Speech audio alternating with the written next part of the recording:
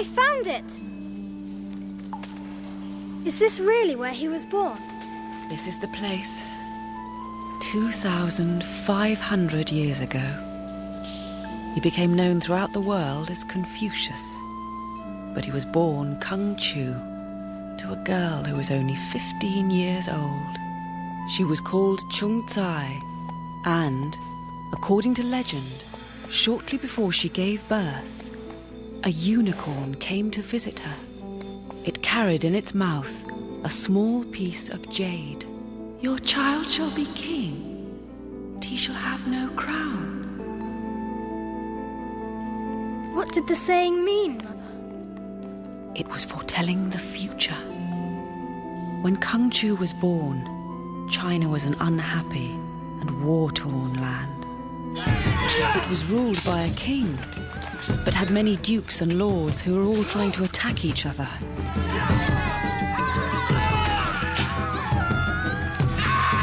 city is ours!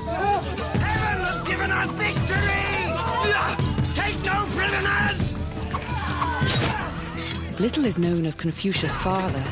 Some say he was a noble warrior who did many brave things in battle.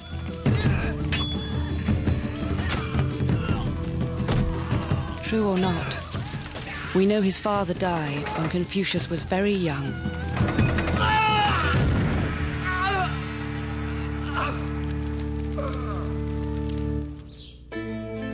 The young Kung Chu grew up respecting his elders, and with his mother, keeping the family traditions.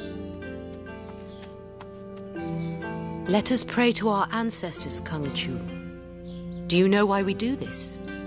In the wisdom of the past lies the hope of the future. You are wise, my son, and are learning well.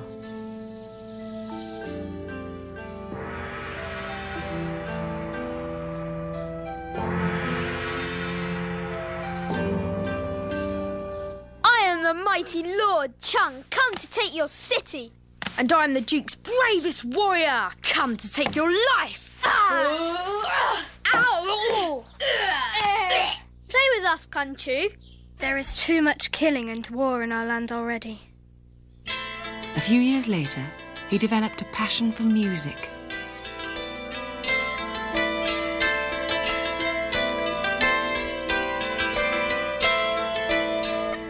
Forgive me. I just wanted to listen. I am without sight, my son. Step forward. Will you teach me to play? Raise your hands. They are large. You will find it hard. I didn't ask for it to be easy. I asked to learn.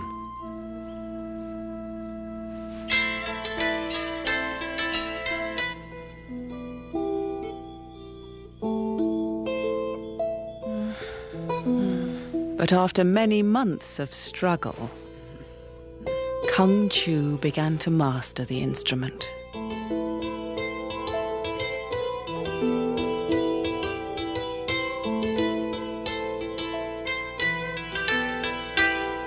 You have learnt well, young master. I have learnt the music, my master, but not the mind of the one who composed it. I cannot see your face, Kung Chu, but I can see you are wise, well beyond your years. By the age of 19, Confucius was given an important position at the court of the ruling baron in his home state of Lu. But there was injustice everywhere, and the people were unhappy. Confucius would petition the baron on their behalf. I can't pay. Tell him if he doesn't, I'll double what he owes. My lord, he cannot pay what he does not have. Why not simply reduce his share? What? If my wise lord were to tax the people less, they would be more content. And if they were more content, they would produce more. And if they produced more, then my lord's share would be greater than the little he gets from them now. Would it not? You are shrewd as well as wise, Kung Chu. You should be a teacher, not a keeper of records. Which before long is what he became. We must remember our ancestors and the ancient rituals handed down to us. If we forget those, we forget everything. Ah! Surely, Master, are not the rites of our ancestors just old fashioned traditions? No. This is what is wrong in our land. The present comes from the past, and the two must always be in step. Forgive me, Master. I wish to learn, but I have no money. To learn, you must question. And to question, you must be here. Bring me what you can. But now sit and let us continue. And as the years passed, his fame spread, and many wished to learn of his ideas.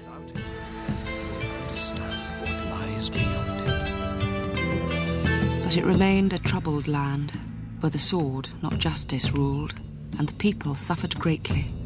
My lord, it's all I have. Silk, my lord, the finest silk. More!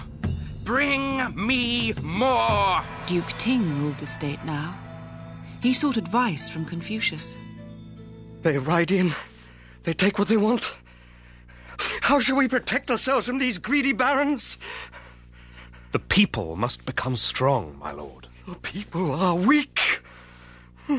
Sooner or later, our city will be taken from us. Then they must have a governor who is strong. If their ruler is just, the people will respect him.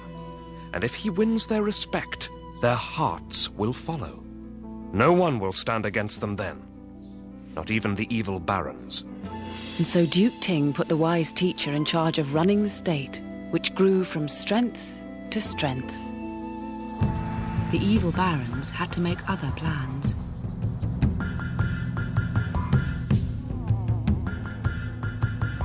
I say we burn their villages. I say we poison their rivers. No. We need to be cleverer than that. I have it.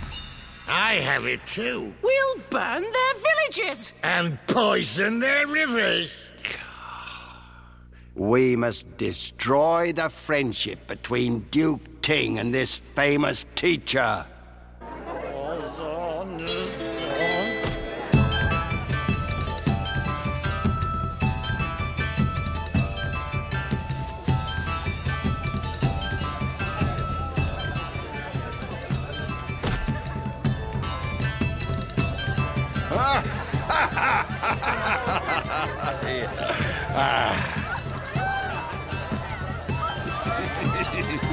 Your wise teacher doesn't seem to approve, my lord.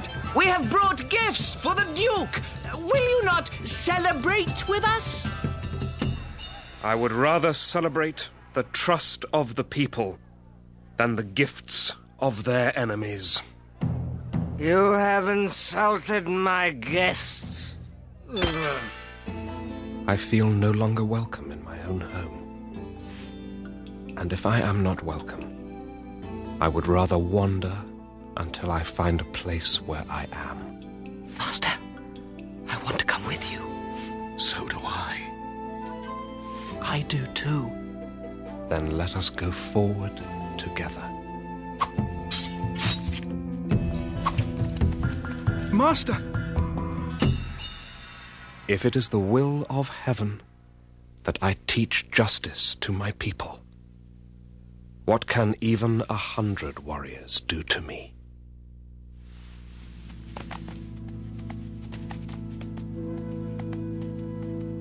And the teacher wandered wherever anyone would hear him, and he taught any who would listen.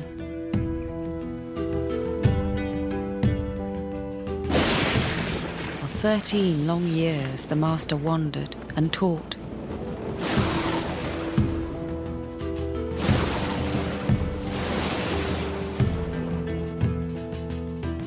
And eventually, the master returned again to his home state of Lu. Duke Ting is dead, my master. Welcome home. And in returning, he hoped he could at last do some good. I demand to be heard! These taxes are too high! All you do is sit there and, and fill your bellies! But it was not to be. You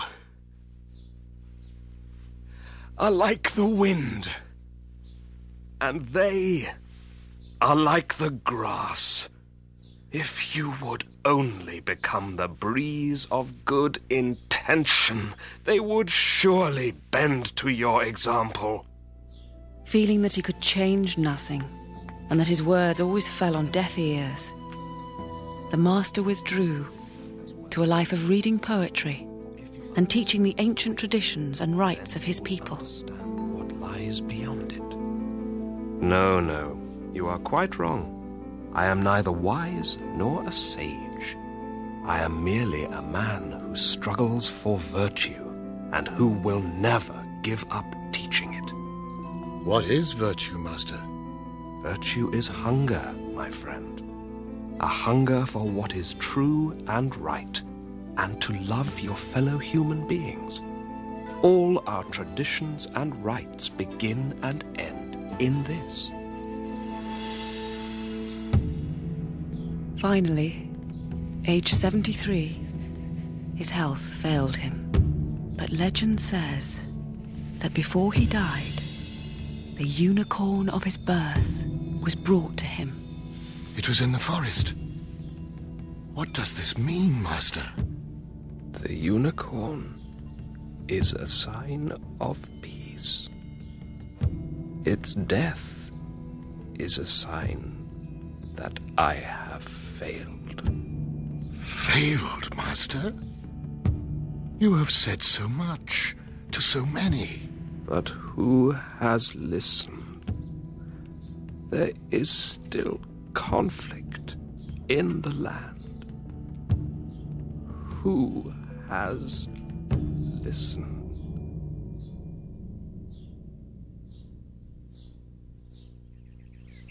Where are we now, Mother? The forest of Confucius. One tree was planted for each of his friends and followers. It's a very big forest. He had many friends. The unicorn was right. He was like a king without a crown. Did he fail in what he tried to do, Mother? All those years ago, and we still have his words. All these trees, and they are still growing. What do you think, my son?